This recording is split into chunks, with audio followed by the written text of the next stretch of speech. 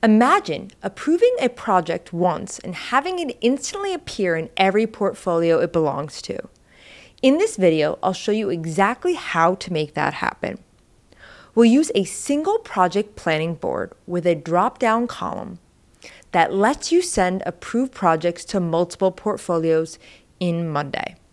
Here's how it works. On our planning board, we've set up an automation that triggers when the project status changes to approved.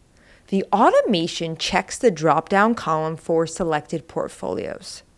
For each portfolio, you'll need a dedicated automation recipe. For example, if IT is selected, the automation updates another status column called Create IT Project to trigger. This column is then used in a second automation that creates the item in the IT portfolio board and links the two boards together. You'll repeat this setup for each portfolio. One drop-down label, one trigger column, and one automation recipe per portfolio. Once configured, you can hide the extra trigger columns to keep your board clean. Let's walk through it.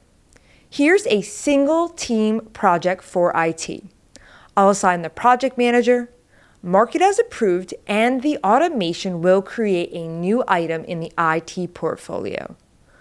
On the portfolio board, a separate automation runs. When a new item is created, it automatically generates a project from a template. You can find this recipe under the Create section in the Integrations Marketplace. It's part of the Monday.com portfolio feature and is called Create Project from Template. As you can see, our IT project has been created from the template and linked to the planning board. This allows us to view the project timeline and its roll up into a single high level view. Now, here's a multi-team example. When I approve the project, automations will create it in both the IT portfolio and the research portfolio. Each portfolio runs its own create project from template automation. So the projects are ready to go in both places. The result is that both projects are connected to their portfolios.